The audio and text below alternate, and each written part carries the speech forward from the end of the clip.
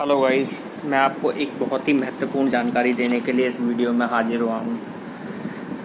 जानकारी उन लोगों के लिए जो लोग एलएलबी में अपना करियर बनाने का सोच रहे हैं, या जो वकील बनना चाहते हैं, सरकारी वकील बनना चाहते हैं, या किसी भारतीय संस्था में वो किसी भी तरह की लीगल कार्यवाही करना चाहते हैं, जो सही गलत के लिए लड़ना चाहते हैं, उन सभी के लिए आपके लिए एक बहुत अच्छी न्यूज़ है।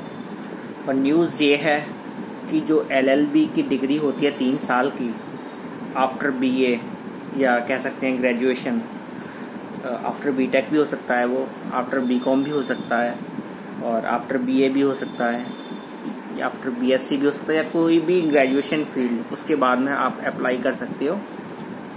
तो अप्लाई कहाँ करना है?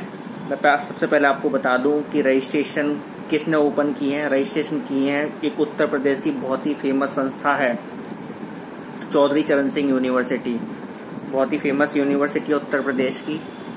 उन्होंने L L B three year का रजिस्ट्रेशन ओपन कर दिया है और अभी उसकी लास्ट डेट डिक्लेयर नहीं की है तो जो भी लोग अप्लाई करना चाहते हैं वो कर सकते हैं। आ, करना कैसे होगा? सी सी एस यू की वेबसाइट पर जाना होगा। और एडमिशन पोर्टल उसका ओपन करना होगा। वहाँ पर L L B three year करके आ रहा होगा। वहाँ क्लिक करके आप रजिस्ट्रेशन कर सकते हैं। अब बहुत से लोग, आप में से ऐसे होंगे जो लोग जानते हैं कि कैसे रजिस्ट्रेशन करना है। उनके लिए बहुत अच्छी बात है। और बहुत से लोग ऐसे होंगे जो नहीं जानते होंगे कि कैसे रजिस्ट्रेशन करना है। तो उनके लिए एक और न्यूज़ है। डिस्क्रिप्शन में एक नंबर दिया हुआ है। व्हाट्सएप नंबर दिया हुआ है। उस पर आप मेंशन करके टेक्स्ट कर सकते हो कि हमें एलएलबी के लिए रजिस्ट्रेशन करना है तो उसके लिए गाइड कीजिए।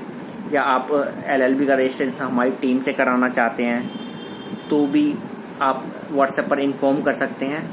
तो डेफिनेटली आपको कुछ डॉक्यूमेंट शेयर करने होंगे और आपके उन डॉक्यूमेंट के आधार पर हम आपका रजिस्ट्रेशन कर देंगे। तो वीडियो के लिए बहुत बहुत धन्यवाद। वीडियो अभी यहीं समाप्त करते हैं। Thank you